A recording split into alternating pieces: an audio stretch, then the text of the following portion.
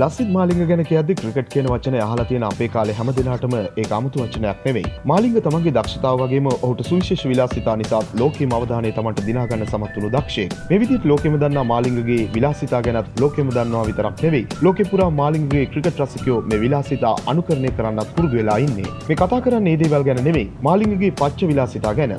මාලිංගගේ පච්ච විලාසිතා ගොඩක් අය දැකලා ඇති. හැබැයි මේ විදිහට පච්චවල සටහන් කරලා තියෙන්නේ මොනවද කියන දේ නම් ගොඩක් දෙනා දන්නවද කියන එක ප්‍රශ්නයක්. මාලිංග මේ විදිහට තමන්ගේ ශරීරය සටහන් කරගෙන තියෙන තමන්ගේ ක්‍රිකට් ජීවිතයේ නොමැකෙන මතක සටහන්. ඒ දේවල් තමයි මාලිංග මුලින්ම ජාත්‍යන්තර ක්‍රිකට් තරගයකට ක්‍රීඩා කළ දවස 2004 ජූලි 1 වෙනිදා. ලෝක කුසලන් තරගාවලියේ දකුණු අප්‍රිකාවට එරෙහිව පිට පිට කඩලු හතරක් ලබාගත් ලෝක වාර්තාවක් කියපු 2007 මාර්තු 27 වෙනිදා දිනය.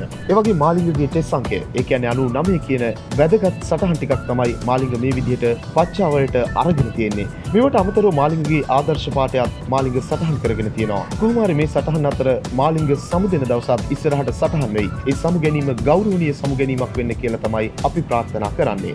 ඔයා මේ වීඩියෝට කැමති නම් ලයික් කරන්නත් ක්‍රිකට් වලට කැමති වගේ යහළුවෙක් බලන්න ෂෙයා කරන්නත් අමතක කරන්න එපා. ඔයා තවමත් අපේ channel එකත් එක්ක එකතු වෙලා නැත්නම් දැන්ම අපේ channel එක subscribe කරන්න. ආයෙත් ක්‍රිකට් පිටියේ අලුත්ම තොරතුරු සමගින් හමු වන තුරු ක්‍රිකට් ලංකාවෙතින් ඔයාට සුබ දවසක්.